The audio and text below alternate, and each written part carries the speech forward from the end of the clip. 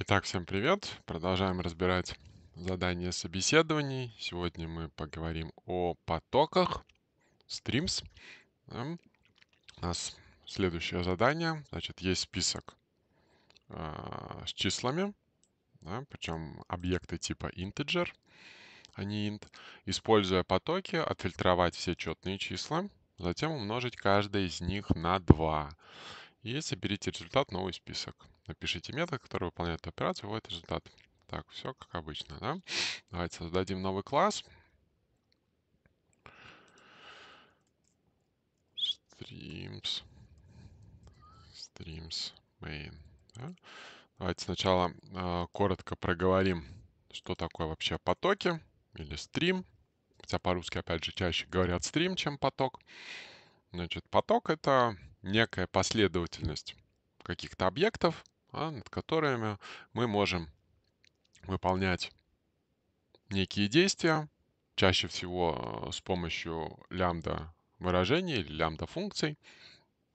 И причем результат выполнения одного действия, он может становиться входным параметром для э, следующего действия. Да? То есть такой, как говорят по-русски, pipeline получается. Да? То есть выход, результат одного действия является входным параметром для другого, выход, вход и так далее. Да? Давайте посмотрим, как это все работает. Static void main. Значит, давайте создадим список. Да, лист. Да, список э, целых чисел. Да, причем именно класс integer должен для этого использоваться, а не просто int. И у нас, по-моему, название было даже. Название numbers, да. Есть название, мы используем название. И, значит, мы используем статичный метод из array, arrays as list. И здесь мы с вами просто перечисляем вот так, десятку, да, до 10. И дальше мы с вами смотрим лист. Естественно, тоже integer будет результат. Result его назовем. И, значит, наши числа сначала мы переводим в стрим. И дальше начинается самое интересное. Значит, у нас есть метод фильтр. Да. Он в качестве э, входного параметра у него некий э, predicate. Да, это некая лямбда-функция, да, э, результат которой должен быть true или false. Да, то есть, в принципе, это некая логическая лямбда-функция. Да, значит, назовем number n. Да, это у нас в качестве входного параметра n, то есть это все объекты последовательно мы перебираем, которые есть в нашем списке лист, то есть это тип integer будет.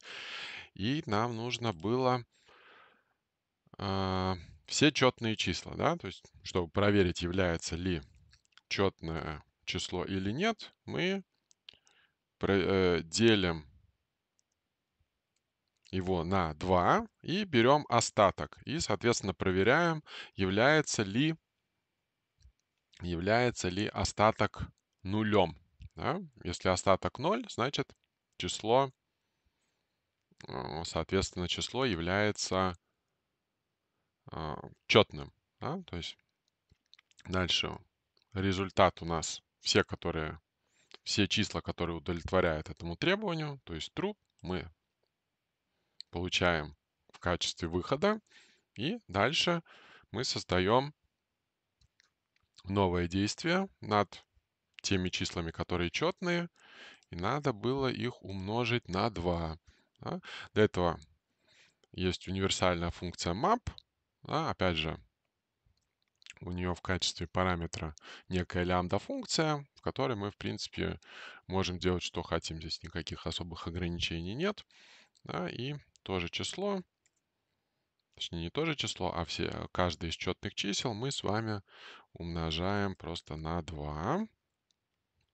И после этого создаем новый список. Да, собираем их в список collect.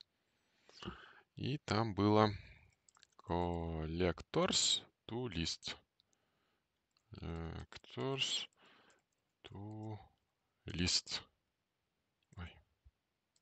Вот так. Так, что нам тут жалуется? Can be replaced to list. Ну, хорошо, давайте так сделаем. Вот. И, собственно говоря, теперь result for each.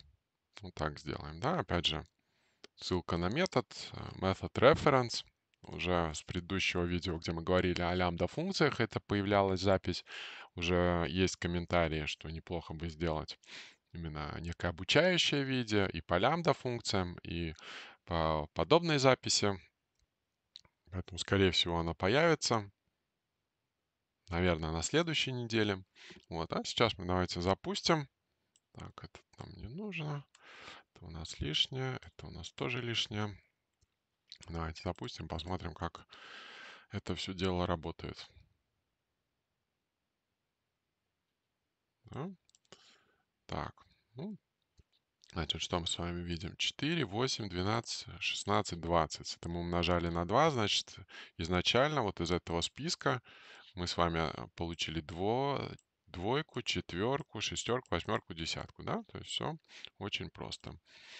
Да. Ну, собственно говоря, задание достаточно простое. Да, еще раз, то есть просто знать концепцию потоков, стримсов, да, знать определенные методы, которые здесь есть это фильтр, который фильтрует, да, то есть ему нужна в качестве параметра некая логическая функция.